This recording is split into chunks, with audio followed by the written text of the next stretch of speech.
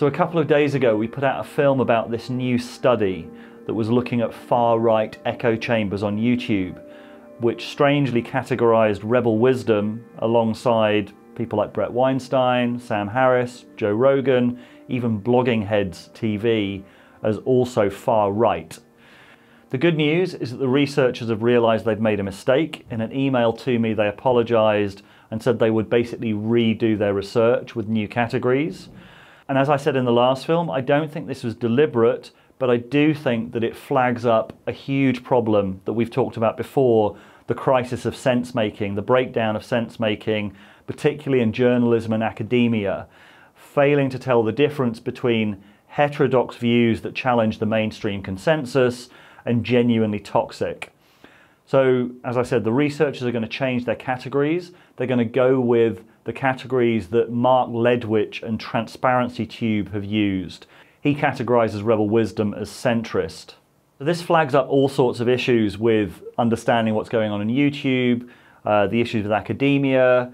So I thought I'd catch up with Mark Ledwich, the researcher, to find out what was going on. There is a lot of left wing bias. In this case, I don't think it's necessarily that, or it's not conscious at least. Um, I don't think that they watch the content. They're just not intimately familiar. So when they see the names on the lists, they just they're just text. They're not. They don't mean. They don't represent content that they're familiar with. So he also talked about how even though he didn't think this research had been politically motivated, he thought some research in the past had been and had come to some fairly bad conclusions. They didn't look at people moving, being de-radicalized from the far right by any of these channels. They only looked at people going one way, but still concluded that it was a radicalization. It would be like um, worrying that planes are causing people to travel from Australia to New Zealand and only looking at like planes arriving in New Zealand but not departing. It's just it doesn't make sense unless they were actually like you wouldn't accidentally do that. So I'm joined by Mark Ledwich. Mark, you created Transparency Tube. You've done a few different papers and reports about the political content on YouTube.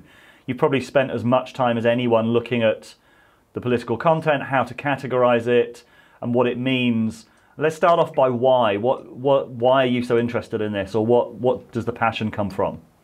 I guess there's two reasons. One's fairly mundane, that I was looking to, for work, get into on the tools in terms of data analysis. And I thought a project on analyzing the influence of YouTube on politics would be a good way for me to get my technical skills on a a fresh project.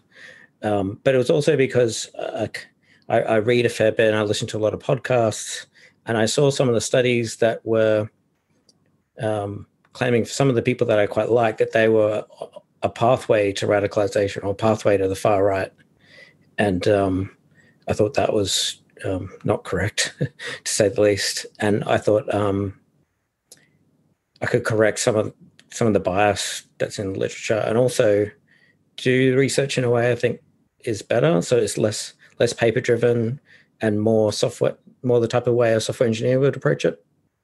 And we're talking now because of a, a recent report that came out called Evaluating the Scale, Growth, and Origin of Far Right Echo Chambers, um, which I became aware of because they categorized Rebel Wisdom as far right, along with a lot of other channels like uh, Bret Weinstein, uh, Sam Harris, uh, Jordan Peterson, Joe Rogan, and it was quite shocking to, to see that, quite surprising to see that. Um, and in a minute, I know that you, you've tweeted about this, and I think I talked about that in the last film.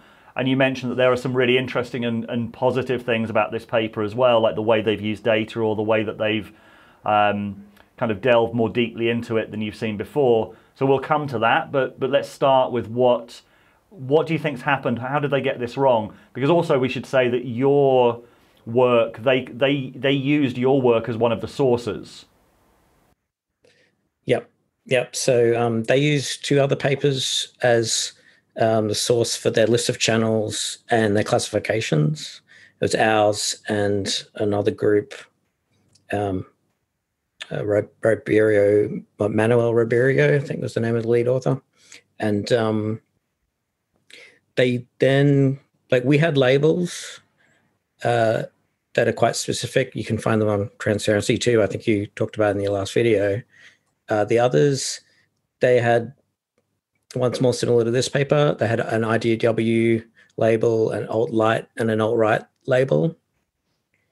And so they combine those two. I'm not sure exactly how they combine them, but that's some weird ways of translating the labels. So from from their paper, they converted IDW to far right, and from our paper, they converted anti-theist to far left, uh, social justice people to far left, and um, anti-SJW people to far right. So there's just a few examples of where they've classified people as far left or far right that clearly don't belong there. Why do you think that's happened? In this case, there is a lot of left wing bias. In this case, I don't think it's necessarily that, or it's not conscious at least. I don't think that they watch the content. They're just not intimately familiar. So when they see the names on the lists, they're just they're just text. They're not. They don't mean. They don't represent content that they're familiar with. I think generally researchers they they listen to podcasts or they uh, talk on Twitter, but they I don't think they generally watch YouTube mm. or any video platform. I think there's not much background knowledge with the people doing it for actually people that watch YouTube. For me, it's difficult to categorize in left and right. Like YouTube for me leans anti-mainstream. It's sort of anti-consensus, anti-mainstream because in a way it is the the place where perspectives that are not reflected so much in in the mainstream will go. Like it's the it's the natural niche for those for those kind of perspectives. So I think it's really important to understand what's going on there, and in some ways, it's kind of more cutting edge than than a lot of kind of mainstream media. But I think my sense is that people are coming with a set of pre-existing categories from a media environment that doesn't really fit with YouTube. What? How how do you look at it? That makes sense to me. I see it as the internet decentralization of like knowledge sharing is naturally going to be uh, more independent than what we used to have, which is very centralized.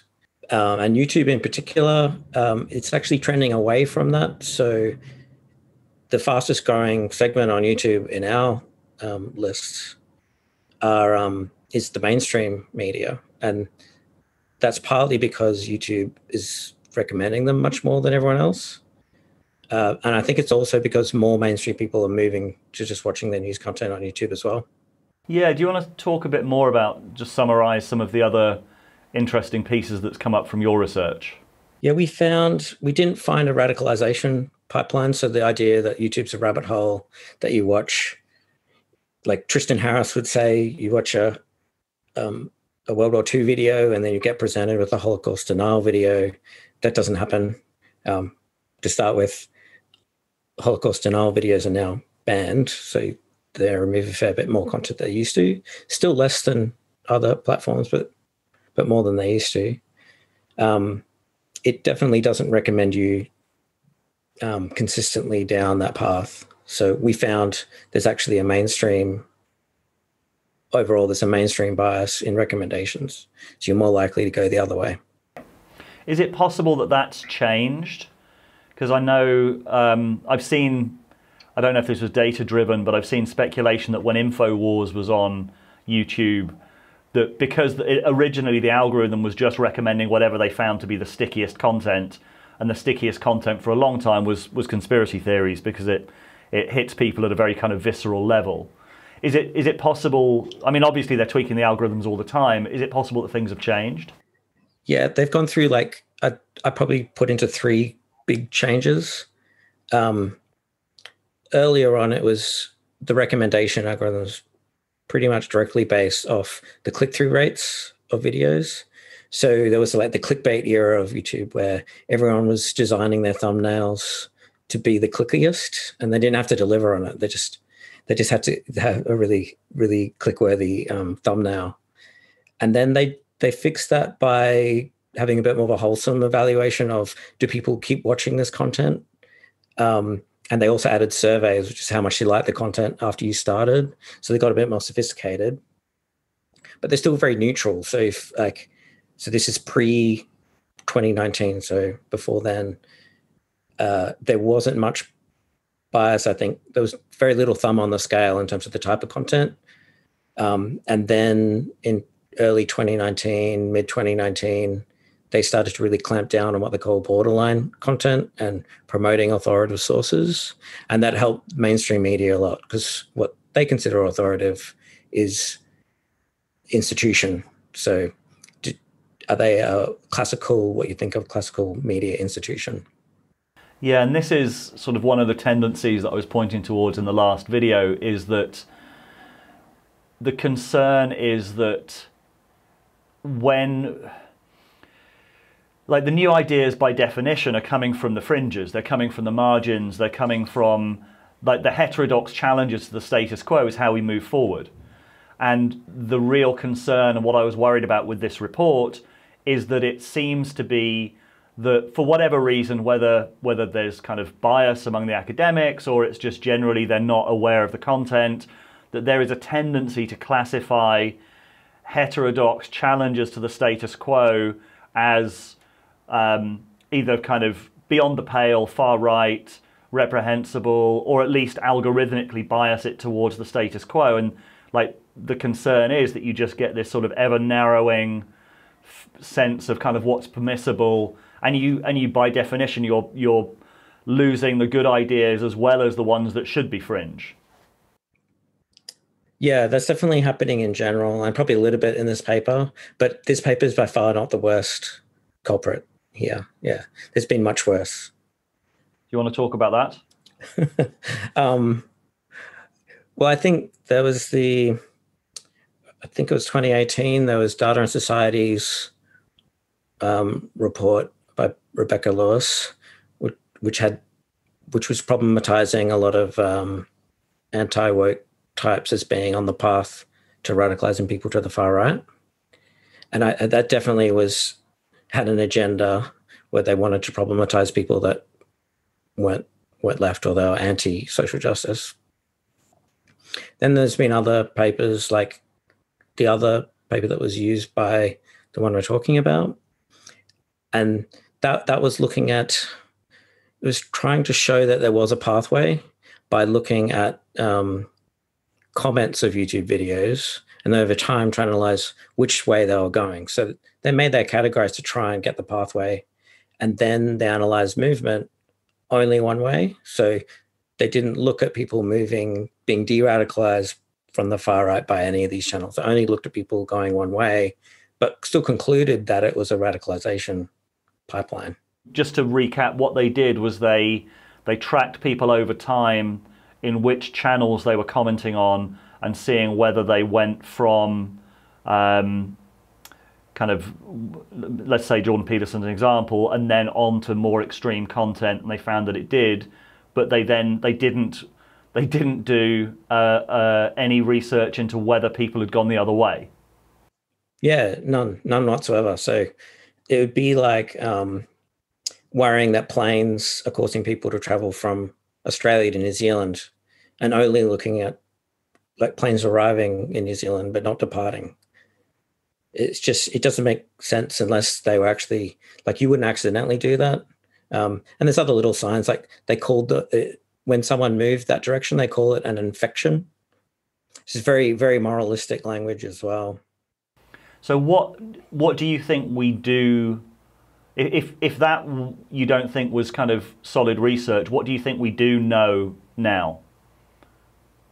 What can we say with certainty? Uh, we can say that um, the YouTube recommendation algorithm doesn't have a systematic bias towards the far right. We can say that. So we can debunk the the there's different rabbit hole theories, but we can debunk the mechanical mechanistic one, mechanistic, where it's the the recommendation algorithm causing it. But people can get more sophisticated versions of that, where it's the availability of content um, and the way people visit other podcasts and network that causes it, or the way content is presented to try and uh, move people that direction. So I can't say for sure that doesn't exist. Or the, the large question, like if YouTube didn't exist, would there be less far right radicalization? like a world without YouTube? Would that be would that be different? That's that's that's really hard to answer. So, and that's what I thought this new paper was actually getting at even better than I did, which is they used um, real web traffic data from a representative sample of Americans. So they could actually look at the real movement and the real use of YouTube. Whereas, so that that's like a much wider scope than just looking at the recommendations. Once they um, recategorize their channels, I think this is a really good way to get at the bigger, the more, the more holistic question of um, YouTube's influence on politics. So actually, the data set that they were using was much more comprehensive than most other data sets that have been used before. But the problem was the categorization. By making so many of these channels far right, they actually kind of contaminated the, the, the data that they had. Yeah, it's it's it's better than other data sets in some ways because they're using real web traffic from real Americans. Um, whereas what we were doing it, we have a much larger channel set than they do now. So um, we have over 7,000 channels, whereas they was looking about 900. Um, but we only have been looking at um, recommendations by YouTube. We, we don't actually know where people actually, um, how people are finding channels or their movement between them. We, we don't see that. So they would have started to answer some more questions. What research still needs to be done? What are the what are the key things that you think the key questions that we don't know that we need answers for? I think we need much more detail about how um, the platforms are influencing politics. So it, it's not necessarily it needs to be dramatically different, but it, there needs to be just lots of improvement and lots more understanding of how it's working. And I'm definitely not against regulation that um, would promote more transparency about the platforms. I'm a bit more skeptical about like further regulation than that, but definitely more transparency would be good. But barring that, like research like mine, we're we're planning to expand it much much further. So since the studies we've done, we've also started to monitor uh, remove videos. So now on Transparency YouTube, you can see any video that's and removed, removed, why, and then you also you have the transcript for the video, so you can evaluate was was this was this removal in line with their content moderation policies or not. And these are things that very um, YouTube doesn't give much information at all about it because they they don't want to be held responsible for exactly how it's working. Mm. So we we hope through our research to have like a really nonpartisan, um, kind of very raw data, good good interactive presentation of what's happening and let a lot of the interpretation be done separately about what should be done or whether it's good or bad. Who are you hoping will use that data? Because I mean, the issue is that if you do have a sort of systematic bias in academia, then people aren't necessarily going to be following that up. I mean, I can imagine someone like the Heterodox Academy or um, some of the the more uh, institutions that are more kind of um, interested in ideological diversity and like um, heterodox thinking might be interested in looking at that, but but th- there seems to be a gap because academia is is generally sort of trending one way rather than the other. It's really really interesting working as an independent researcher because you're outside the normal um, status hierarchies and prestige pathways. So we have to try and get attention separately a lot like you would for your podcast. We have to we have to somehow get attention to what we do. So we find um, we use all the different methods. So like I, I create conflict sometimes on Twitter to get more attention to the research we're doing that appeals to the more anti-SJW side of things. But we also go through the mainstream institutions and get like we've been referenced in the New York Times twice. We get referenced by Vox as well now because we're also targeting them with like press releases that they would be interested in. So we're hoping to get attention through all tribes to basic data about what's actually happening and try to make it harder to bullshit, harder for people to tell the stories that they want to tell, uh, ignoring what, what the data is actually saying. Yeah, I mean, the only question that comes to mind, because you've been quite kind of open in this conversation about your kind of ideological priors. You've talked about like some of the um, part of the motivation was seeing channels that you uh, watch were sympathetic to being categorized in ways that you thought were a bit off. Um, the only question that comes to mind is like, as an academic in this field, are you worried about people discounting that because of your um, assumed ideological motivations? Yes, and that, that that's definitely happened. So um, when we released the paper, there was definitely um, a rounding of the wagons by certain journalists to call to discredit our study based on ideological motivations because they perceived where I was coming from, which was trying was bringing data to debunk the rabbit hole narrative that, that they're very much wed- wedded to. Um, but to overcome that with Transparency Tube, we try everything we put on there. We try to be quite neutral and just matter of fact about the data. Um, so you can see that in the election fraud narrative data. There's nothing, there's no tone, there's nothing to indicate what we think about whether there is election fraud or not. Um, and I'm working with Sam Clark, who's definitely more on the left side of the spectrum, doesn't have that antagonistic, um, or he, doesn't have the ideological priors that I do about being a bit more anti social justice. So we can, that way, by being honest about our priors and having multiple people from different sides work together on a project that's explicitly neutral and purely about data, I think we can have credibility amongst different tribes at the same time. But we still need to, uh, if you're neutral in the way you present it completely, like by the time it gets to Twitter or by the time it gets into a narrative article, there will be ideological things added to it. Um, and that's actually required for attention anyway. So we do, we are pragmatic about um, getting attention to the research. That's but you'll find you'll find it used in both ways. You'll find it used against mainstream narratives, and you'll find it used in ways for it. But we just try to make sure they're true to what the data's actually saying. So you've kind of come to the conclusion that you need some top spin to cut through you need you need attention and you can't get attention on the internet without some some being part of some narrative or some counter some narrative or some moral bent some some reason for worrying about it or or supporting it or yeah it, there needs to be a hook to tie you in and that's emotional and it needs to fit into narrative so we hope we, we fit into that for attention but um, we make sure uh, it's a it's respecting what the data and what's actually happening in terms of YouTube's platform and its influence on politics. The stories have to be true to what's happening. Yeah, and I guess that's one of the things that I've kind of talked about before, and like I think one of the one of the failure conditions of traditional journalism has been this kind of affectation of the voice from nowhere.